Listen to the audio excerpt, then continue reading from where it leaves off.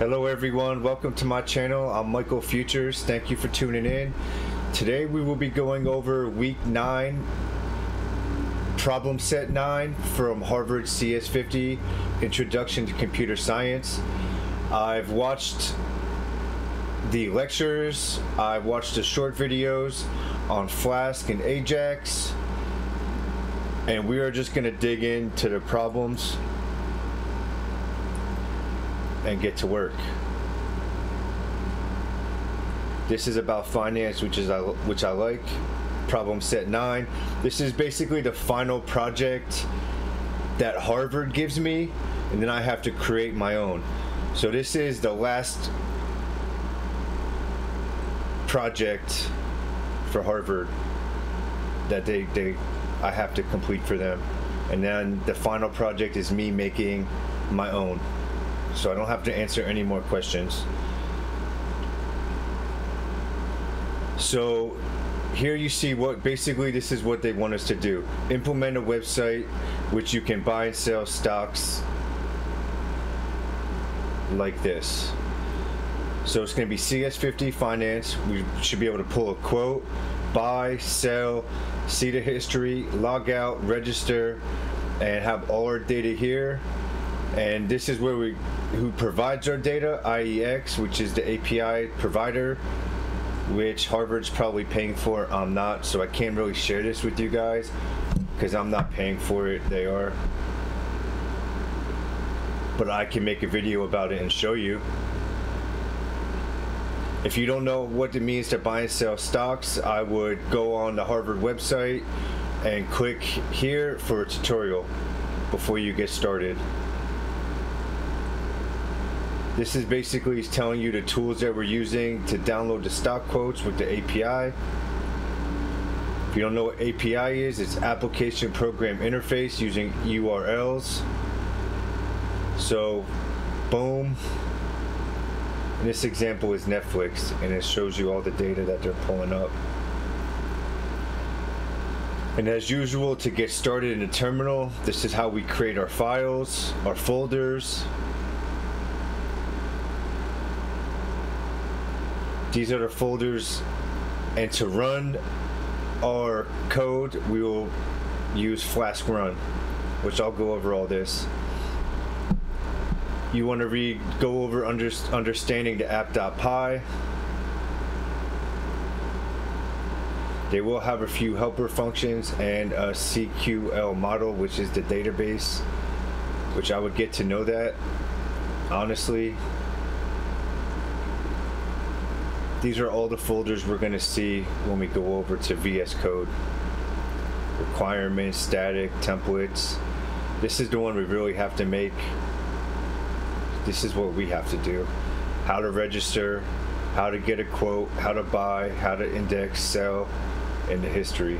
And you can add your personal touch. So right here is what we have to make. How to register, how to buy, the index, how to sell, and the history. All the other folders will be provided for us.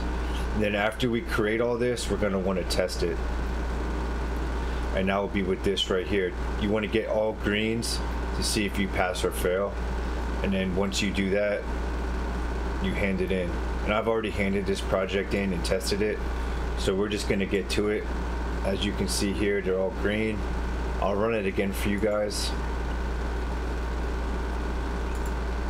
We'll be working out of the finance folder, as you can see here. Boom.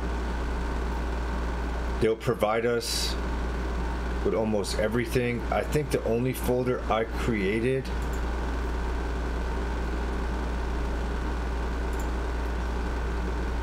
were these in the HTML section, like the register HTML. I did the, I, I created the register in the app.py but then I also created an H. I just basically copy and pasted it and put it into the HTML, and I made a folder here. So this is what they give you. Here's your the finance database, which is SQL. Your helpers function, but you actually want to import this function into your app.py function. and use the data from here because this is going to give you your UR to connect to your um, APIs, your login information, how to look up the symbol. You hard code that in here. See, it says prepare API request, what symbol you want, the end date time, the start end, end date time, the Yahoo Finance API. This is where we'll be getting our information from. Request, the cookies, the headers, the quotes, the prices, and then it's going to return the symbol, the price, the name of the symbol, the price, and then the symbol itself. And we will be using it in USD. So now we go over to app.py. We'll from helpers import all that stuff we just went over. Apology, login required, look up USD. Also import datetime so you can get the dates and the times of all the transactions you do or you're going to have an error just so you know. They don't tell you this but this this is something i'll tell you. Import date time.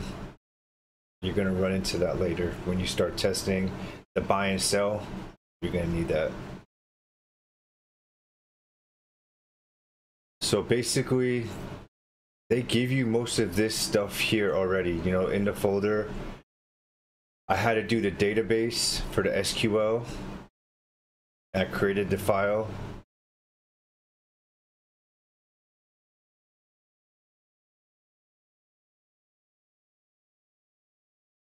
going to go over the logins, user ID,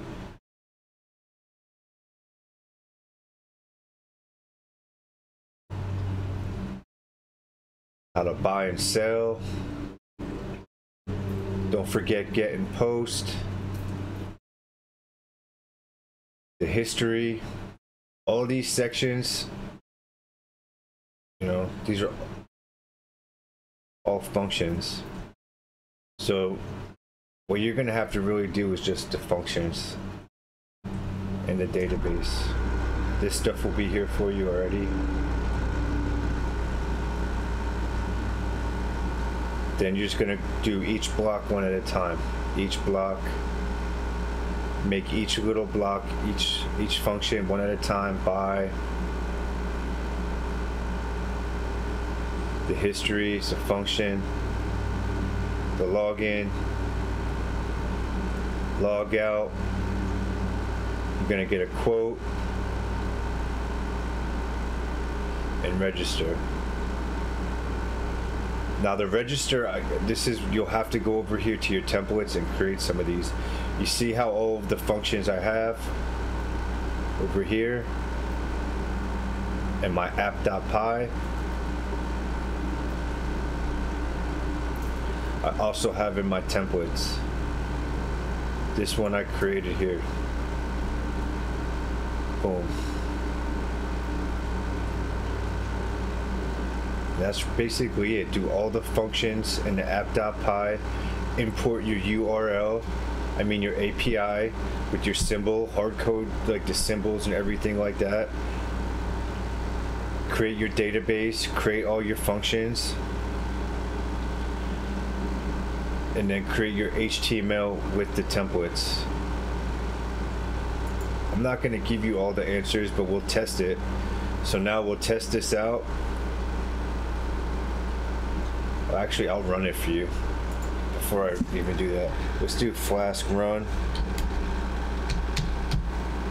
I'll show you what it should look like. So once you do Flask run, you want to control click on the link down here.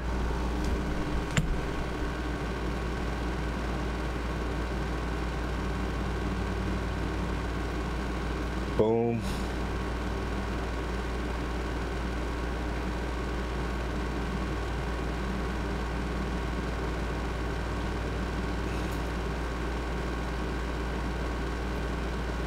So I'm gonna log out of this one. As you can see here, it's CS50 Finance.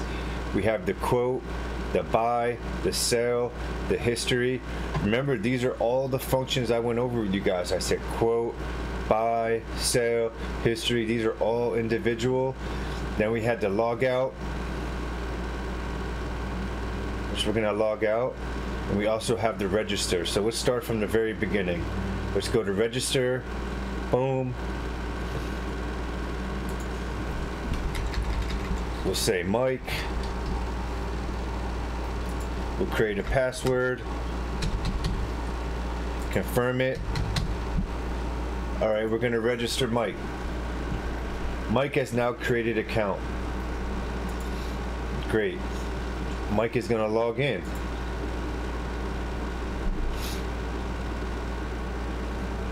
We get $10,000 cash to play around with. So let's get a quote. Let's go to Apple.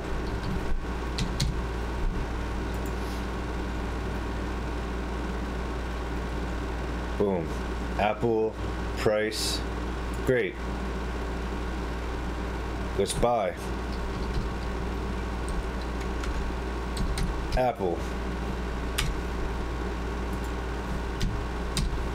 10 shares. Now it just shows you the symbol, the name, the shares, the price, and the value. You can check my history. The timestamp is important. It'll show you what time I bought it at. Let's buy some more. We're gonna buy Ford.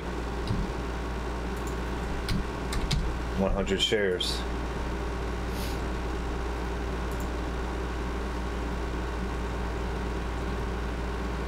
Now it shows you how much cash I have on hand, the value of my stocks, how many shares I have, the price. So let's sell some.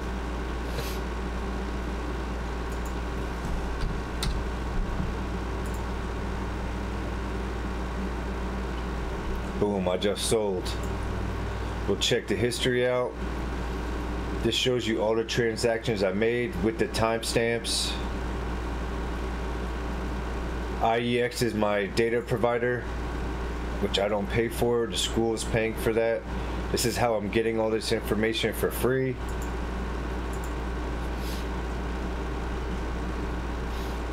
And that is the financial website. And what we're going to do now is we are going to check it to see if I got the green lights from Harvard.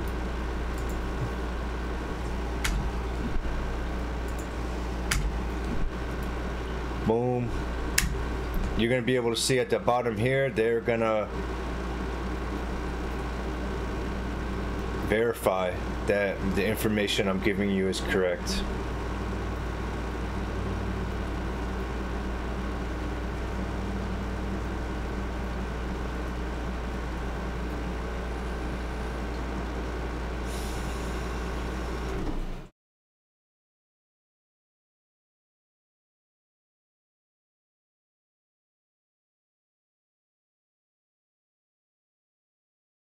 And we are got the green lights on everything.